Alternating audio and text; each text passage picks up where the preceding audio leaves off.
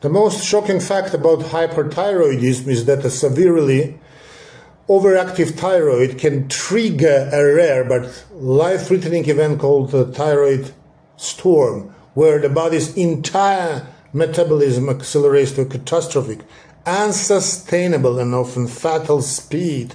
So a thyroid storm is not just a bad hyperthyroidism, it's a sudden, extreme decompensation. It's like taking the engine of a car that's already redlining an injection of full rocket fuel. The patient's body is literally burning uh, itself out. The classic presentation is a triad of hyperthermia, tachyarrhythmias, and central nervous system. So when we talk about hyper, hyper Thermia, we have to understand it's a very high fever, up to 40, 41 Celsius or 100, 106 Fahrenheit. That is out of proportion of any underlying infection, of course. The body's metabolic furnace is running so hot, it's essentially cooking itself.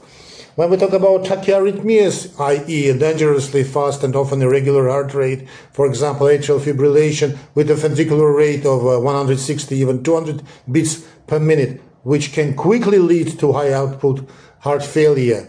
And central nervous system dysfunction, we've got extreme agitation, delirium, psychosis, and eventually coma. So it's a true multi-system meltdown. A thyroid storm is a clinical diagnosis, not a lab value. It has a very high mortality rate, even with modern ICU care.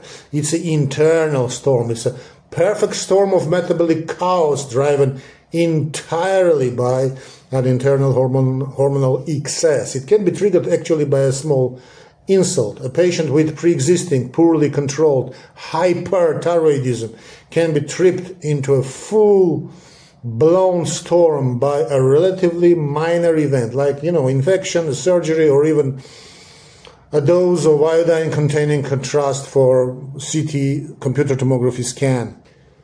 And the treatment is multi-pronged attack. The treatment is fascinating and an urgent pharmacological assault. You have to block the thyroid, uh, my beloveds, at every level simultaneously. So block new hormone synthesis no, with like, like uh, methimazole block the release of stored hormone with iodine solutions like Lugols, block the peripheral effects of the hormone on the body with beta blockers, block the conversion of T4 to more active T3 with steroids and PTU.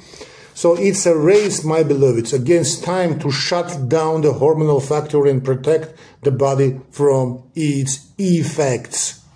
Get it? Good.